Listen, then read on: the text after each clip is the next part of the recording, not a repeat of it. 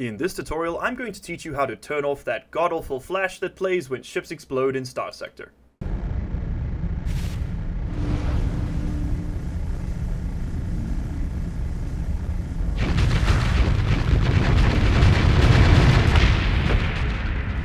Hey, you. You're finally awake.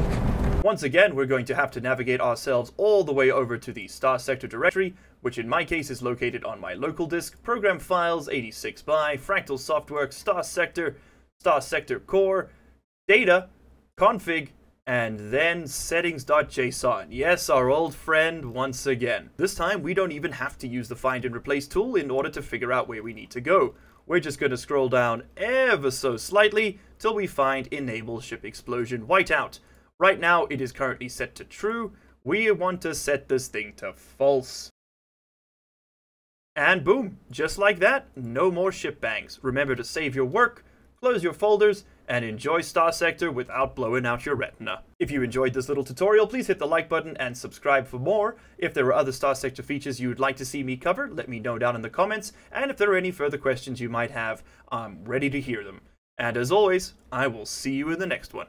Cheers.